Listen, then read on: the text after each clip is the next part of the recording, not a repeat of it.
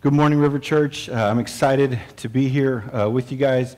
Um, if you've gone out to eat or gone to a restaurant or to a store or anything of that nature within the past year, uh, you are likely to have seen on the window or, or in, in, in, in their announcement board inside or somewhere, you're likely to have seen a help wanted sign. Um, when I went to, I went to Whataburger the other day and, and Lisi's got me trained to look at uh, the receipts so you can get those free Whataburgers like at the bottom of the receipt. And so, like, I'm always looking for, like, okay, we're going to get a, a, buy one, get one free type deal. And so, um, anyway, this last time I went to Whataburger, I looked at the receipt and they had a little uh, barcode at the bottom of the receipt and says, if you're interested in working for us, please scan this little code. And so, everywhere, everywhere, everywhere, everywhere, it seems like help is wanted. It seems like people or businesses are hiring. now, the same is true for us as Christians. I feel like Jesus looks at us, and this is, I feel like Jesus looks at us with a help wanted sign, uh, holding a help wanted sign as he looks at us. In the passage that we're going to look at today, it's in Matthew chapter 9, and it's this idea that, that Jesus is calling for more workers. He is calling, he, it's, it's almost like he has that help wanted sign at the bottom of the receipt, right? Help wanted. He is calling for more workers. There's, there's work for us as Christians to do. Now, now the problem, and I'm guilty of this too, the problem is that we don't necessarily want to help. We, we, we aren't interested in helping. If it, if it were a restaurant, we're, we're more interested of just ignoring the sign, going in, getting our food, and leaving a tip, and getting out. We're, we're not interested in the work. Now, the, the, what we're going we're gonna look at today, we're going to talk about today, is, is the work that Christ is calling us to. It's not like this, this optional thing. It's something that all of us as Christians, myself included, we are all called to be a, a part of the work that Christ is calling us to. It's, it's, a, it's a mandatory one. Now, if you're here a few weeks ago, I preached uh, on evangelism, and it's that, that same thing we're, we're going to discuss today. The work that Christ called us to uh, is to evangelize, is to go out with our faith. and today we're going to look at it. So, so, so, so today's passage, um, uh, the, the Lord is saying that the, the, the, the, the harvest is plentiful, but the laborers are few, the workers are few. And so today's sermon, as we go through it, we're going to look at it kind of like a job description. Okay? So, job description um, who's our leader, uh, what's our message, what's our motivation, and, and, and, what, are, what is our mission? What are, we, what are we to do? Okay, so as Christ is calling us to be workers, it's helpful to know uh, what the work is, right? and so today we're going to be looking at a story from the Gospel of Matthew. Now, Matthew is, one of the four Gospels, and, and so there's four Gospels Matthew, Mark, Luke, and John. And each one of these Gospels is like a painting of Jesus, a, a, a portrait of Jesus. And you have these four writers, and each one of these Gospels has their own way of viewing Jesus. Not that they contradict each other, but they are written for a purpose. And in Matthew, Matthew's big uh, push, Matthew's one of his big themes is that Jesus is the promised king. Right? The Israelites were looking for this promised king, and, and the book of Matthew, the Gospel of Matthew, is presenting Jesus as this king. If you look at just, if you look at the, the, uh, this, uh, this book, it starts with the genealogies, right? It starts at the beginning, it, it starts with uh, uh the whole genealogies leading up to Christ, right? And the idea there is that it's, that it's saying that, hey, this, this Jesus that we're talking about, he's part of this, this bloodline that we have been talking about, right? This, this promised Savior that is to come. He is part of that lineage. And then if you look at the end of Matthew, Matthew 28, Jesus says, All authority has been given to me, right? The Great Commission, go therefore and make disciples. And so in that, you see, all authority has been given to me, basically saying, I am the king, right? I am allowed or I have the right to say what I want to say because I am the king.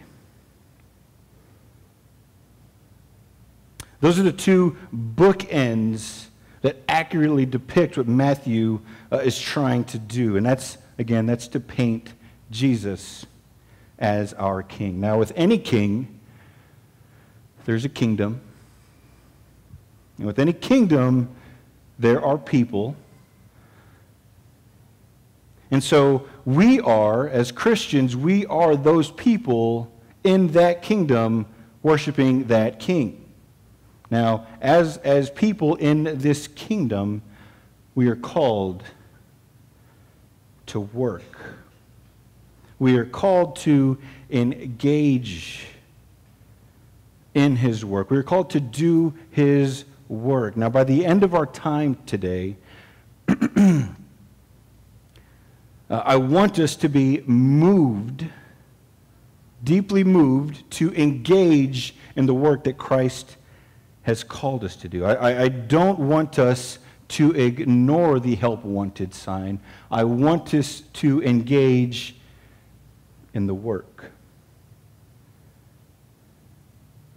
Now, our passage today uh, is calling for workers. And as I, as I just said, workers are meant to, to as Christian, Christian workers, we are meant to, to share the news of the gospel. We're meant to try and uh, tell other people, like, hey, there's a kingdom here, there's a king, you should come with us into this kingdom.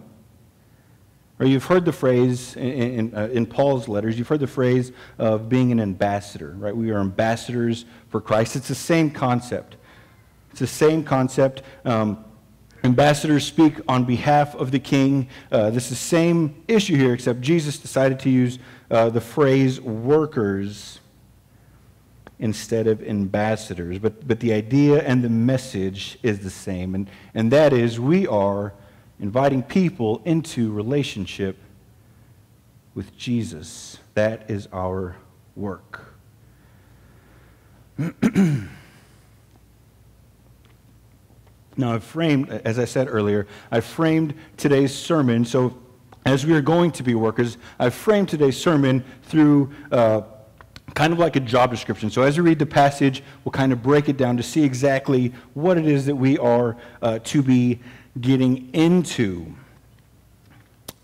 But as a worker, we'll first see that we have a leader that we are to follow, which is Jesus. We will then see what message we are to proclaim, which is the gospel.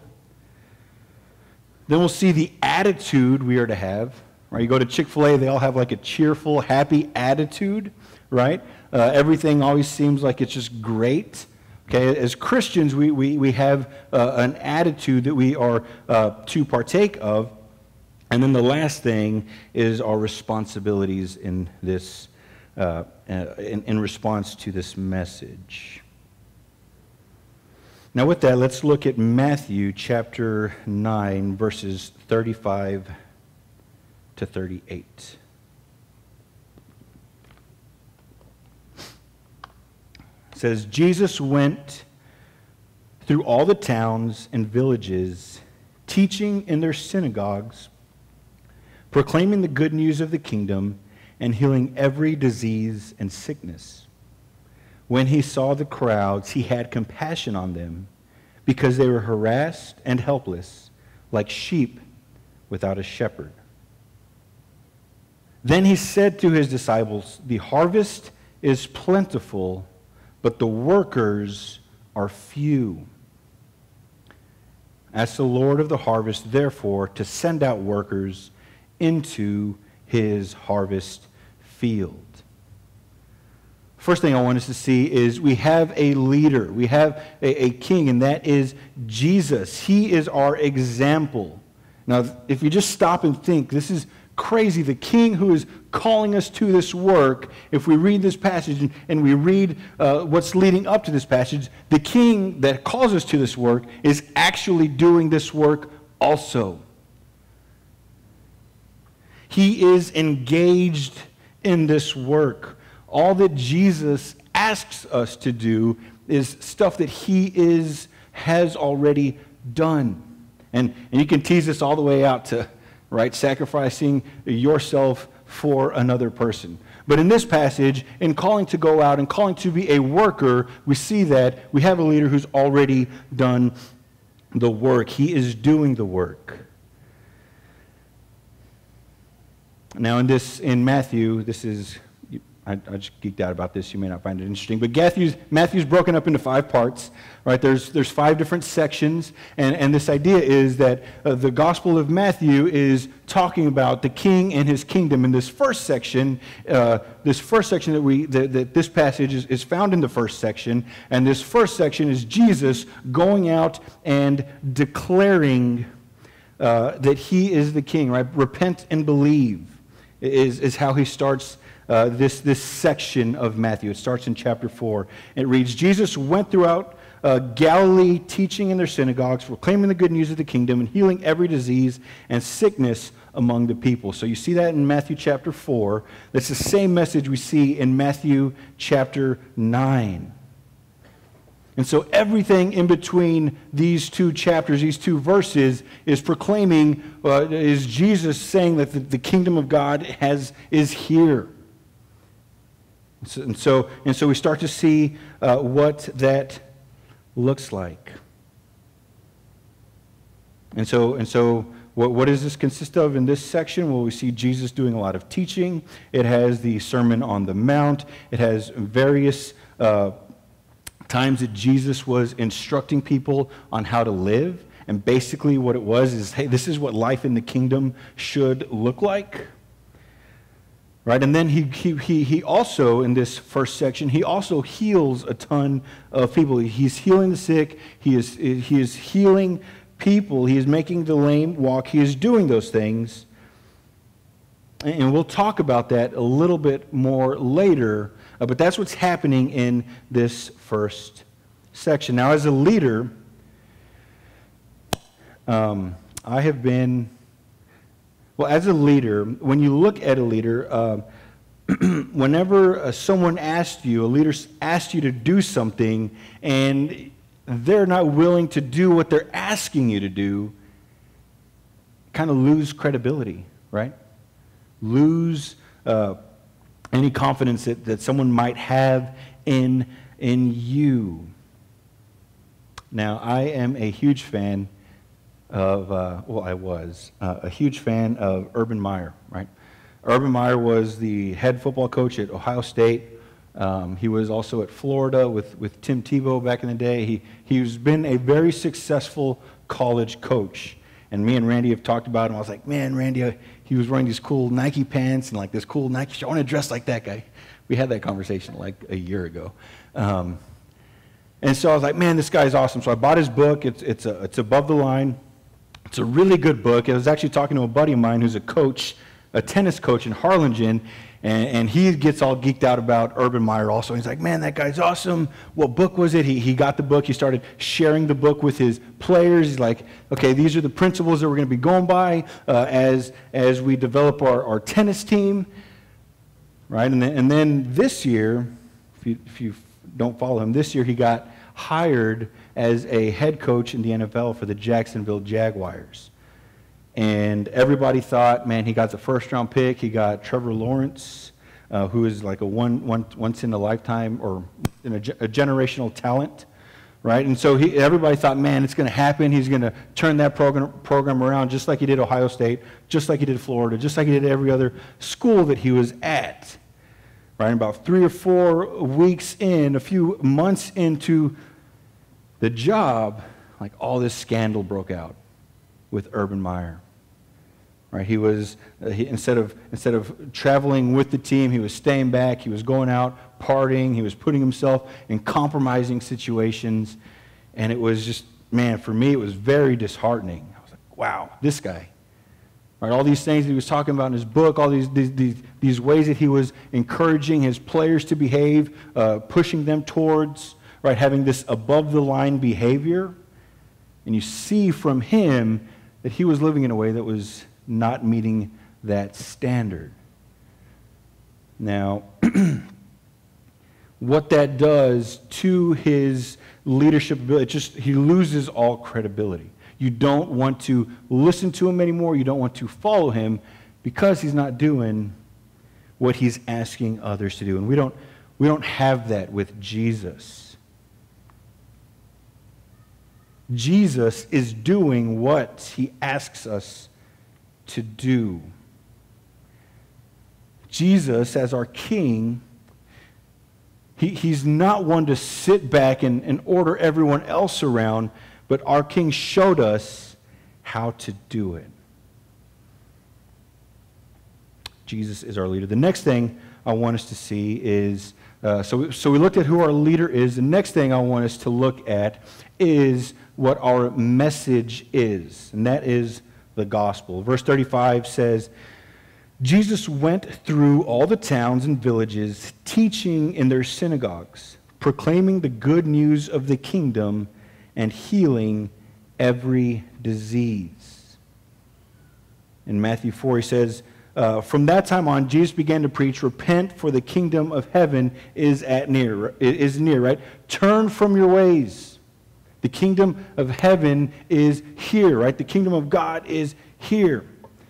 And the, the beautiful thing about this, and this is our message, the beautiful thing about that is that we can participate uh, with Jesus in his kingdom. As Christians, Ephesians 2 6 says, As God raised us up with Christ and seated us with him in the heavenly realms in Christ Jesus. So, right now, I refer to this passage a lot, but right now, we are uh, in relationship with Jesus and in some mysterious way, we are with him as he is seated in the heavenly places. We are seated with him right now. And it's, the cool thing is, is, is, this is what eventually it's going to look like perfectly. Right, if we look at Revelation chapter 21, we see it says, And I heard a loud voice from the throne saying, Look, God's dwelling place is now among the people, and he will dwell with them. They will be his people, and God himself will be with them and be their God. He will wipe away every tear from their eyes, and there will be no more death or mourning or crying or pain, for the older things have passed away. This is what is to come. And as we look at this passage in Revelation, there are a lot of parallels to what we see in Matthew chapter 9, right? Jesus is among these people, He is with these people, He is healing people's diseases, right? He is teaching them. We see a glimpse of that in Matthew. One day, that's how it's going to be always. And that's amazing. What a beautiful message. But Jesus is starting to do that now. We are invited into this kingdom, into relationship with Jesus now. However, those who choose to remain in their sin cannot be part of this kingdom. It's difficult to enter into this kingdom. Not because it's, not because it's hard, we believe in Jesus for the work that he has done. It's not, it's not because it's hard, it's because we don't want to turn from our ways. We tend to love the darkness more than the light, more than the light. But the gospel is the news, and this is our message. The gospel is the news that there is freedom from slavery to sin. Right? The, the people in our passage today, they are slaves to sin. You before Christ were a slave to sin. And if we, we, and if we repent and we turn to God, then, then He will receive us. Our sins separated from uh, our sins separated us from God. Jesus' work reconciles us. We must turn from our ways and trust in Jesus. And, and maybe you've struggled with that. Maybe you've tried to hold on to, to, to, to, to your old ways. Maybe you're not a Christian and you're like, man, this Christian stuff, it sounds cool, but this other stuff is, is, is, is much better. And, and so you stay there, but, but, but over time you realize, like, man, this, this isn't working for me. This, the, the way that I have chosen to, to, to, to live my life, the things that I am doing, the sin that I am engaged in is tearing me down. If that's you, I invite you to respond to the call of Jesus in your life. Right? Jesus looks at you and says, I know you got all that stuff. Come to me. I will take care of it. I got you. Come to me. Come to me. That is our message. And again, if, if, if, you're in here and you haven't and you haven't thought about that, you haven't you've, you've kind of been resisting Jesus, I invite you just to, to respond to the call in your life. we have a leader. We have a message. Now we're going to look at our attitude. And our attitude should be a compassion for the lost. In verse 36, it says, When he saw the crowds, he had compassion on them because they were harassed and helpless like sheep without a shepherd. Our attitude is that we should have a deep compassion for the lost. It should bother us deeply.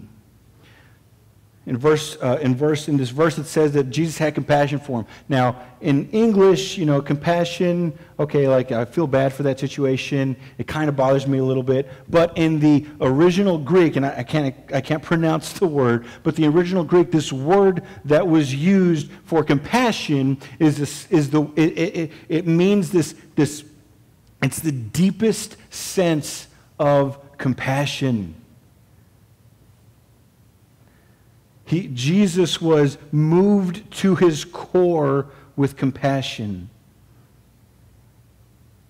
Again, it's not a mental assent of a bad situation and just kind of carrying on with your life, but it's the kind of compassion that shakes you, that tears you apart. You, you feel extremely burdened with compassion for the lost.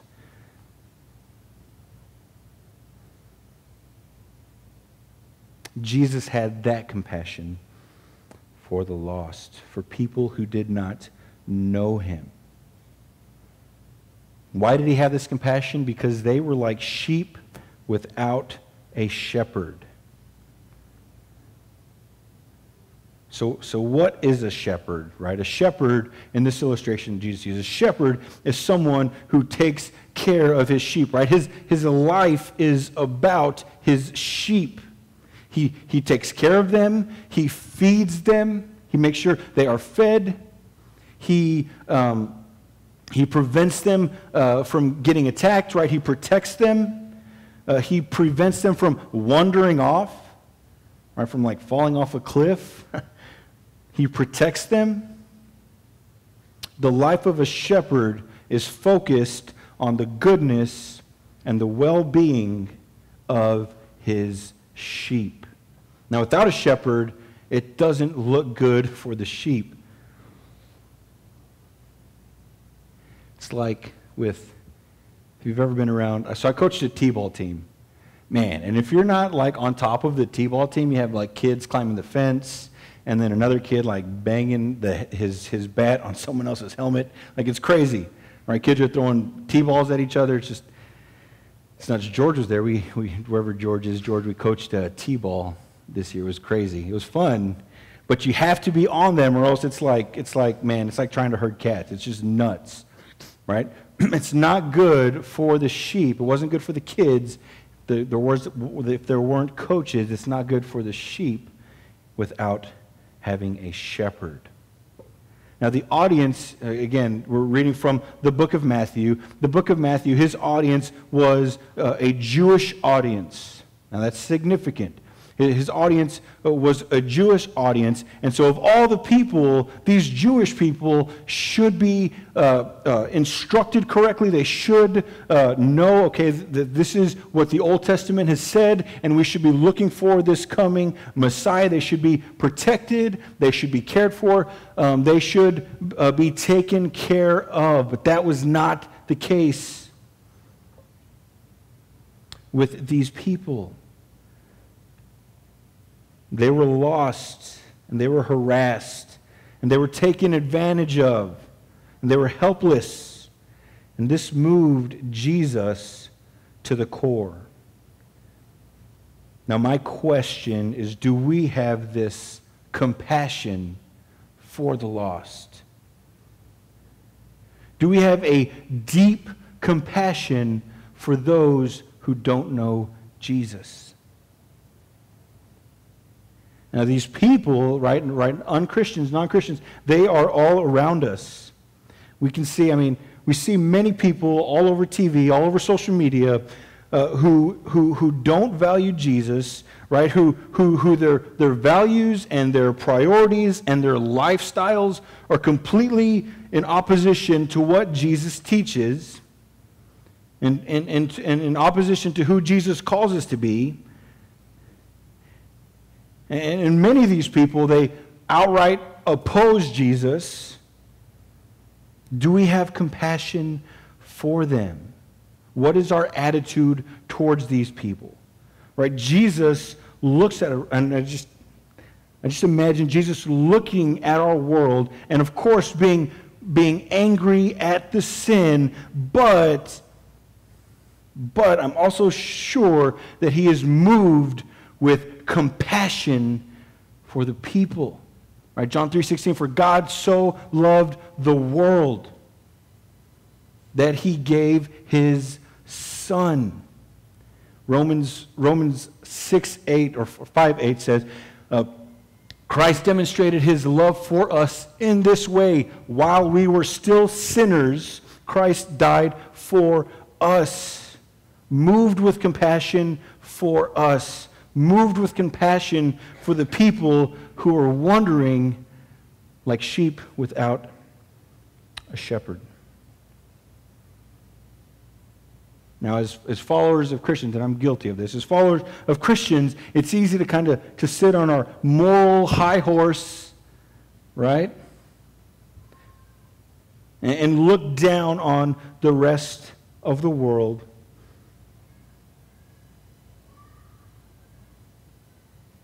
and to be angry at the brokenness, but not compassionate for them. And let's not forget that before Christ called us, that was, that was us. We were those people. We were lost. We were like sheep without a shepherd.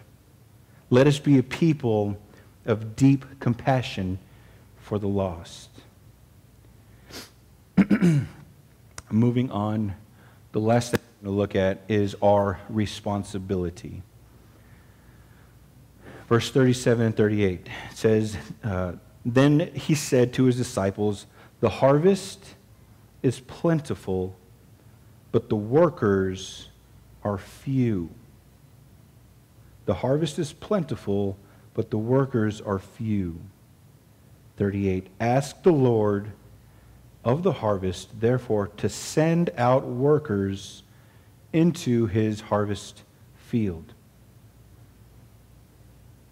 Jesus said to his disciples that the harvest is plentiful, but the laborers, the workers, are few. That means that, that there are many people who are waiting to respond to, uh, to, to the gospel. There are many people who are looking and waiting to hear the message of the king. There are many people who are confused and lost and hurt who are waiting to come to Christ. The harvest is plentiful. That's not the issue that Jesus is saying. The issue is saying the, the issue is that Jesus is saying that there are no workers. So what does he want us to do? Two things. One of them is found in this passage. The next one is found like in the very next paragraph. Um, but the first thing is we are to pray for workers. We are to pray to the Lord of the harvest to send out people. Let us be a people who is praying for more workers. Let us, let us pray for a people, uh, let's pray for people who are going out and evangelizing, going out and sharing their faith with others. Let's pray that the Lord raise people up and send them out to share the gospel. Let's pray for new missionaries. Let's pray for our missionaries. We have four missionaries who are all around the world. Let's pray for them that as they go out, uh, they do the work that Christ is calling us to do. Let's pray for them. Let's pray for, uh, in Los Fresnos, I don't know if some of y'all may know this, but there is a, a missionary training agency in Los Fresnos who, they, uh, what they do is they train people up to send them to the mission field. And I have some buddies over there, and they're constantly getting in new missionaries. Let's pray for to every tribe. Let's pray for their leaders. Let's pray for their applicants, their, their trainees, as they are trained up and sent out. Let us pray for people to share their faith with their neighbors. Let us pray for people to share their faith with their friends and with their coworkers. Let us, let us pray for those things. Now, if, when you read this passage, and, and I, I think this is right, we should be praying that the Lord raises people up and sends them out. But the second part to this is that we are to be the workers. As we saw here in this passage, Jesus calls us to pray, but in the very next sentence, the next five verses in chapter 10, right, Jesus, he says, okay, you guys prayed? Okay, now disciples come here, and disciples, the, the guys who just prayed, okay, you're done praying? Come with me. I'm going to send you guys out. Jesus calls his disciples the people that he just told to pray, he calls them and he sends them out. We are to be the workers. We have freely received Christ, and we should freely share Christ with others. And I know that this is hard, and we talked about this a few weeks ago uh, in our in our sermon about evangelism, um, where we looked at the life of Peter in, in, Acts chapter 4, and he prays for boldness, right? He was just persecuted. He was just standing before these rulers, right? And, and, and everybody, myself included, would have been like, okay, I got to lay low for a little bit. I can't go out there with my faith. I can't be um, um, bold about my faith. I need to, to, chill out for a little bit. And what, is the, uh, what does Peter do? He prays to the Holy Spirit for boldness, that he may continue to, to present the gospel in the face of whatever may come.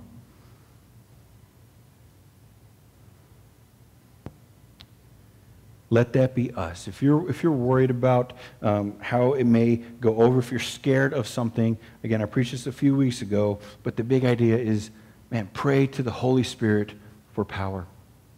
Pray to the Holy Spirit for boldness. You can't just muster up, I'm just going to try a little bit harder. It's not going to work. It doesn't work. Pray to the Holy Spirit for boldness, for courage to go. That's where our hope is, guys. Every application, every application we talk about, any sermon we preach, the, the application, the strength comes from the Holy Spirit, and it is true today as well. Now, again, we preached on this a few weeks ago, so I'm not going to give you that same application. But I do want to leave us with a strategy or, a thought in regards to evangelism. And, it's, and, and, and that thought is this don't say no for someone. Don't say no to the gospel for someone else. We are called to be the workers. We are called to have compassion and to share the gospel with people. Right? Let's not say no for them by not sharing the gospel with them. And what I mean by that, and I've been there, I'm sure we've all been there. What I mean by that is, man, I'm going to share the, you know, you may think I'm going to share the gospel with this person, right? Pastor Billy told me this week I need to share the gospel, but, and I want to share with this one coworker of mine, but that dude's, man, that dude's whack. that dude, there's no way that guy is going to believe in Jesus. He's going to think he's going to laugh at me, he's going to rush me out of here, he's going to make fun of me. Everybody's going to make fun of me at work. It's going to be bad, right? That is the temptation. And what, what happens when we think that way is we say no for them. We don't allow them the opportunity to respond to the good news of the gospel. We say, man, I'm just going to say no for you, save myself this time, and, and, and go ask someone else who I think is a better candidate. Don't say no for someone else.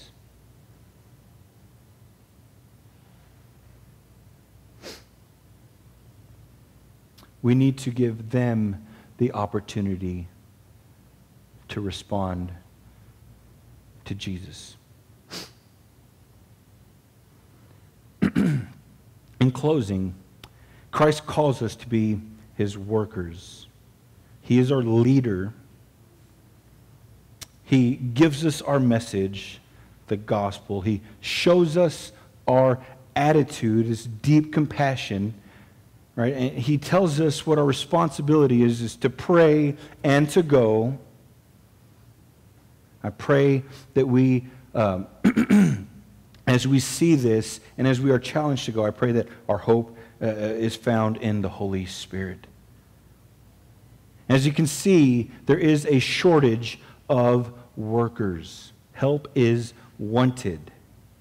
Work is needed to be done, but no one wants to do the work. Let us not ignore the help wanted sign,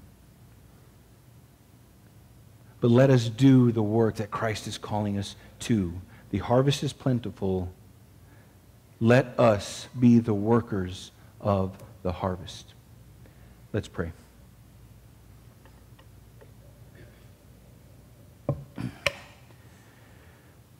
Thank you, Jesus, for calling us, for being our leader uh, in this front, in this work that you have called us to do, in spreading uh, your name and your fame throughout the world, Lord. Thank you for just including us to be uh, a, part of that work, Lord.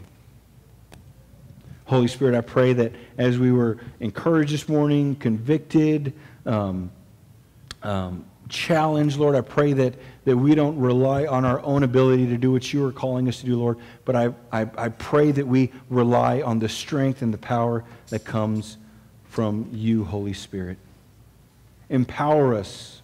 Give us the strength, the boldness to do the work that you have called us to do. Lord, I pray that as we go uh, through this week, Lord, I pray that, that we pray that, that you raise up other people, but I also pray, Lord, that you raise us up and you send us out.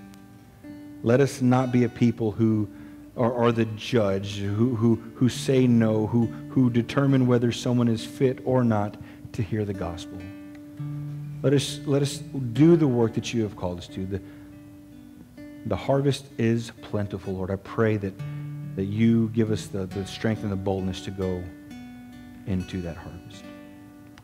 Pray these things in Christ's name. Amen.